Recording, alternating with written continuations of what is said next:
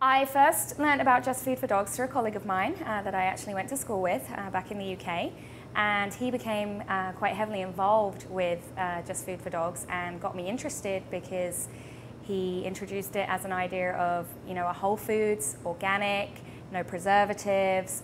Uh, this is something I, I believe very strongly in because I think at the moment it's very difficult for veterinarians with the other options available in terms of dog and cat food to know what to recommend to a pet owner. Uh, you know, there's really not that many regulations involved with formulations of dog foods that you buy on the shelf in pet stores in terms of the ingredients, what goes in them.